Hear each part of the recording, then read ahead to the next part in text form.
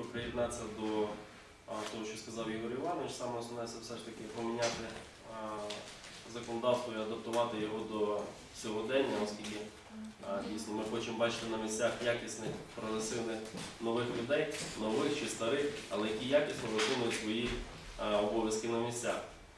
Е, Щодо е, висування кандидатів, я думаю, що у тих е, районах, де навіть будуть люди сильніші з інших партій чи безпартійні, я думаю, єдиний центр буде також здійснювати підтримку е, щодо їхнього обрання.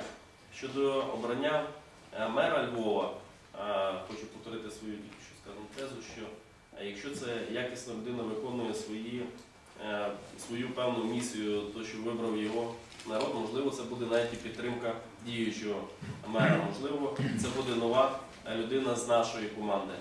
Е, Тобто все потрібно зрозуміти, як буде налаштоване суспільство е, по відношенню до цих виборів.